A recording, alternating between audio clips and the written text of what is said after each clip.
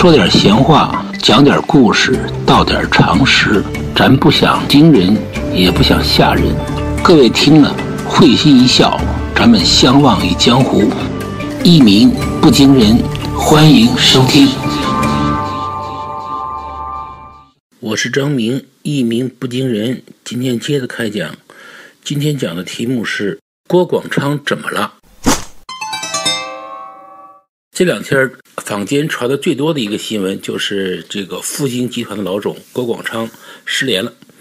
呃，到底怎么回事？是因为什么失联？是不是被抓了？这都不太清楚啊。复兴集团也没有给给人们一个答复啊。总的说，他失联了。如果说这个郭广昌真的被抓了的话，那么这个联想老总啊，这个前老总柳传志的一句话可能就要作废了。他说过：“说企业家这个商人就应该在商言商，啊，不应该参与别的事情。”郭广昌就是一个在商言商的典型，很听话，从来不就别的问题发言。那么在商言商居然也出事了，那么看来这个企业家的。这个的确是风险，是一个很就像别有人说那样，是一个风险很大的行业啊，风险很大的职业。这个也也有人说说，现在中国的企业家不是在监狱，就是在通往监狱的路上。这话可能有有点说的夸大了，但是的确，这个现在我们的政商关系啊出了点问题，就是包括前几天死掉的那个徐明。啊，也是引起了好多好多的企业家这种议论啊，说到底这个东西，说我们这这个企业家要去做大之后，到底该怎么相处，怎么处？你说，呃，这个在商言商嘛，就就自己的事儿说自己的事儿啊，不参不参与政治，也不涉及这个社会事务，啊，我只是说只是纯粹的经商，那么也可能出事儿，因为有人说了，说我如果我们做大了的话，如果不跟政府搞好关系，不政府官员搞好关系，那么一个小科长就把我搞死，那么如果我跟这政府官员搞好关系，那他倒台。啊，如果万一哪个你跟谁关系搞搞好了，他一倒台，说不定就把我牵进去啊，就跟徐明那样啊，也坐牢了。那么这种情况，那到底说，那到底该怎么办呢？就是说。那么现在我们是不是说，我们其实也没法给给给职业企业家几条明路，说你有啊，就是有，就比如说你既不跟官员搞搞走特别近，同时呢啊，你也不那个特别特别的这个，就是就是跟政府对着干。就说你也走不到，我也给指不出来一条什么明路，是吧？到底说你有什么第三条道没没有？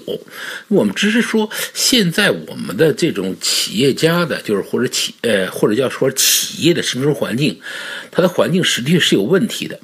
也就有有人统计过，说现在的企业家，就是说你不管你是谁。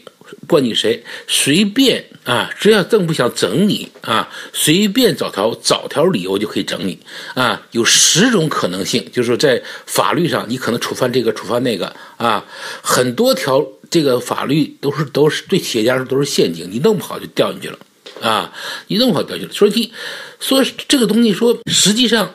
很多企业家都有这个税务的问题，都有这种啊什么这个夸大资产的问题啊，都有这种呃这种非法经营的问题。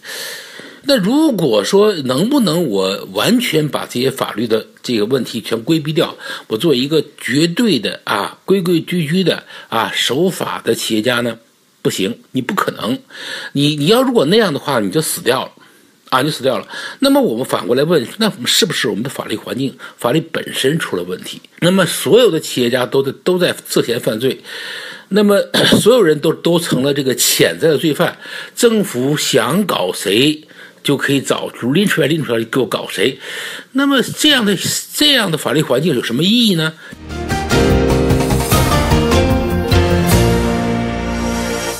这个意义呢，如果有意义的话，就是说把所有的。经营者都变成了潜在的罪犯，那么这样搞的话，那是那等于说，我们就说，只要是搞搞企业的，那都是罪犯啊，或者是潜在的罪犯。那样这样下去的话，那我们知道我们这个，那么我们这个那那这个国家不成了问题吗？我们家国家这个这个产业是由一帮罪犯在在在经营，这个是很糟糕的一件事情。所以呢，所以我觉得现在的问题不是说企业家该怎么办的问题，不是说我们对企业家进行道德教育、进行法治教育、对他们进行这个约束的问题。这个问题可能也有，但是这个问题远远没有，就是说我改善我们的法律环境，改善我们的正常结构啊，就是从两个方面。第一个呢，就是我们的法律啊，要要不然让人要让要给人留条活路，就是既他要守法，同时他又可以经营下去，就他还可以挣钱。你不能说想挣钱，那你就就违法。你要如果这样的话，那不就等于挖了个陷阱，把人给扔进去了吗？啊，这个所以从从这条上讲，我们觉得我们的法律必须改善，我们的司法环境，我们的法律条款必须呃进行一番的这个改造，否则的话，我觉得这样下去的话，可能真的像人说的那样，就是所有企业家不是在监狱，就在。通往监狱的路上，这个可能对国家、对这个民族或者对我们每一个人都不是好事。再一个呢，我觉得可能我们的重点要改善我们的政商环境，就是说，我们老我们就是政商勾结，就是官商勾结、钱钱交易，这个我们人人都痛恨啊。其实我也痛恨，但是问题是我们在现实社会中就很难避免这个。就很难避免，就是到底我们要是要一个什么样子上关系才合适？我们能不能做到做到这个这个官员和商人做到君子之交淡如水？现在看来这这是一个理想啊，根本你做不到。为什么呢？官员权力太大，他这个就是就是现在自从这个这搞市场经济以来啊，我们的政府啊，就是有各种各样的千条线万条线的，就是伸到市场里去，有无数条手，这个手都是看得见的。啊，在管着你，你干什么事儿你都要他审批，他要不审批你什么也干不了，这个动辄获咎。那么，这个官员和政府的权力这么大的情况下，那官员那个商人如果不巴结，要不要如果是不巴结政府，不巴结官员，基本他是没法活的，没有活路的。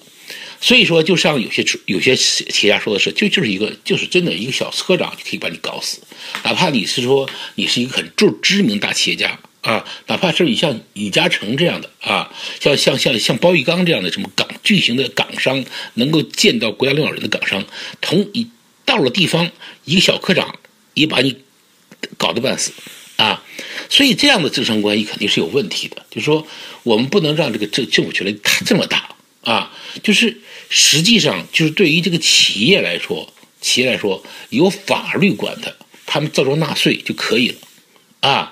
就是只要这个法律是合适的，呃，他触犯法律就就就就惩治他，他不犯触犯法律，他就可以按照这个，就是他就可以自由的去啊去经营。那么这个政府行政权力不应该去管，不应该把手伸到市场里头去乱搅和。所以说这个，所以说如果说我们不能够。把那个伸到市场里头那只有看得见的手把它看住的话，我觉得那可能我们今天的这个经营环境是会很糟。今天可能一个徐明死了，一个郭广昌进去了，那可能会明天会有更多的郭广昌，更多的这个徐明啊会倒下。那么我们这对于我们中国的经济绝对不是一个好事，更何况我们现在还处于这个下行状态，而经济困难在一时日甚一日。如果我们再这样胡闹下去，再这样还是搞，还是把维持原来的法律环境，维持原来的智商关系，可能我们中国的经济会更加雪上加霜。一鸣不惊人，今天就讲到这儿，希望大家下次再听我讲。